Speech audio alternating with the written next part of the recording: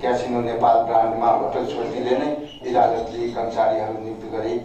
Casino सञ्चालन गरेको त्यस पश्चात नेपाल रिक्रिएसन सेन्टर प्रणालीलाई क्यासिनो सञ्चालन लिजमा दिए तापनि मिति दुई हजार पचास दस चारको पर्यटन विभागको क्यासिनो सञ्चालन शर्त बन्देजको बुदा नम्बर आठले सम्झौता ठेक्कामा सञ्चालन गर्न दिएपछि पनि होटल सोल्टीकै दायित्व रहने उल्लेख गरेको र कर्मचारीहरूले पुनः नेपाल रिक्रिएसन सेन्टर प्रणालीबाट नियुक्ति नलिएको र अविच्छिन्न काम गरिरहेको देखिएकोले ठेकेदार भागेपछि सोल्टीले एकतर्फी सम्झौता तोडेको अवस्थामा दुई हजार पचास साल अघि नियुक्ति लिएका कर्मचारीहरूले पाउनुपर्ने रकम र राजस्व उठाउने जिम्मेवारी क्यासिनो सञ्चालन नियमावली दुई हजार सत्तरी लागू नहुँदासम्म होटल सोल्टीकै रहेकोले सोही होटल सोल्टीबाट क्षतिपूर्ति गराउन संस्कृति पर्यटन तथा नागरिक उड्डयन मन्त्रालयलाई निर्देशन दिने।